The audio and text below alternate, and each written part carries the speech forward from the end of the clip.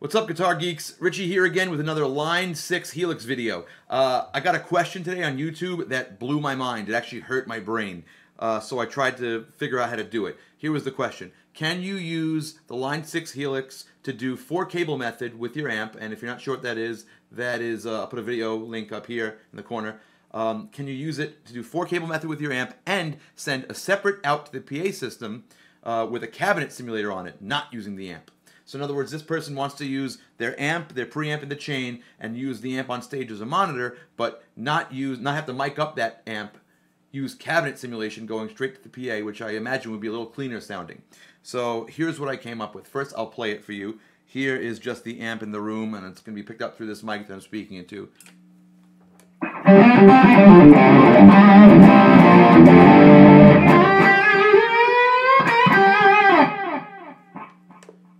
Now here it is going into the PA.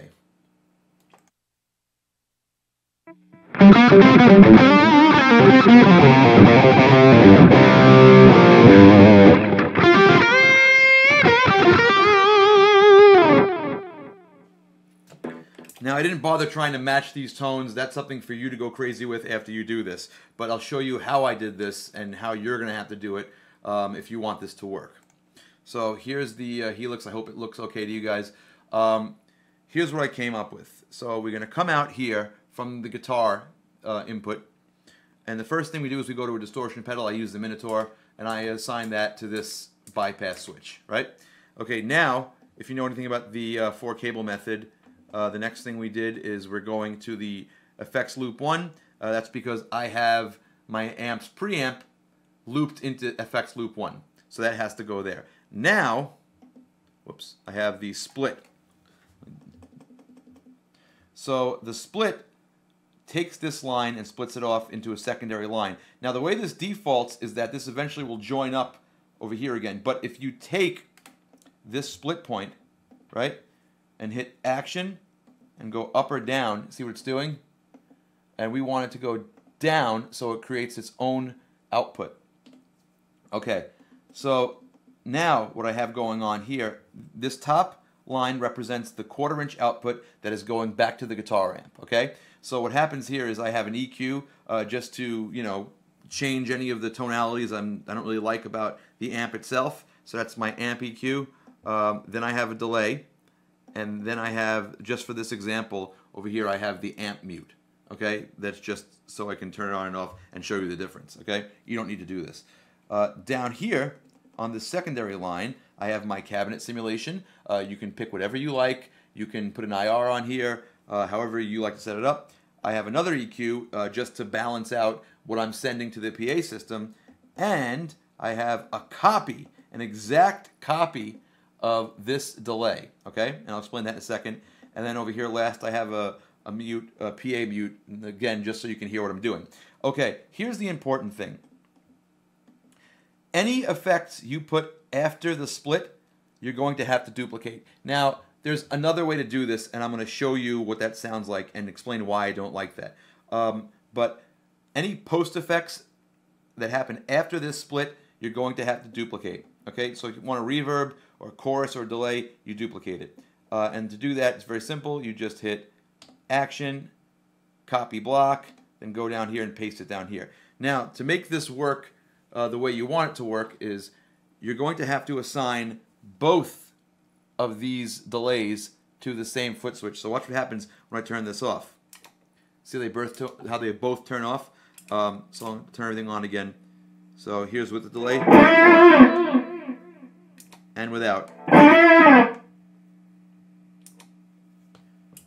So it doesn't really matter uh, with this because it's before the split, so one version will do, but after it has to be duplicated. It's very important to set each path to a separate output, so check it out.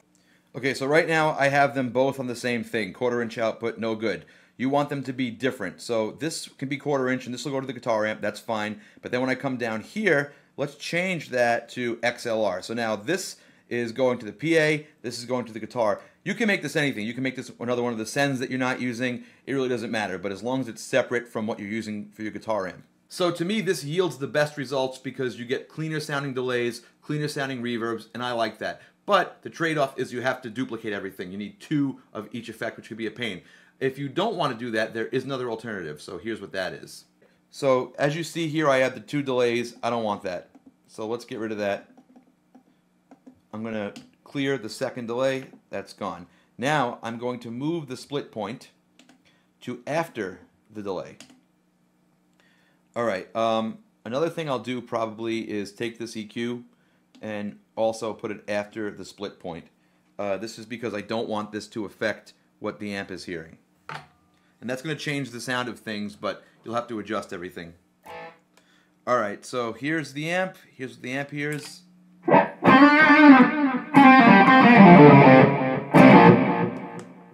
right, I'll mute the amp. And here's the PA. So it sounds a little darker because now the, the uh, delay is going through the cabinet simulation over there. Uh, but it's not a huge deal, and that makes life a lot easier. Uh, we still have a fair amount of independence. Um, I can move things around to make it a little neater. I put this here, put the split point all the way at the end. So now you have all this room to put, you know, maybe a delay, a, core, a reverb, a chorus, whatever you want, and it stays pretty consistent. Uh, any changes you make will go to both, and you still have the ability to put a little EQ, go into your amp, and separate EQ or actually separate whatever you want going to the PA. Like so, for example, if the the um, engineer is complaining about you know level spikes or whatever, you could throw a compressor on there or something.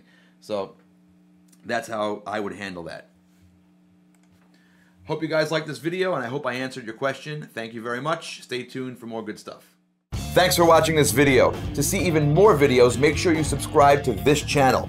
If you'd like to interact with me on social media, please follow my Facebook, Twitter, and Instagram accounts. If you like podcasts, check out my show Band Geek on the Riotcast Network. For tour dates and even more info, go to richiecastellano.com. Now, here's a video I picked just for you. I think you'll like it. Go ahead, click it. It's good.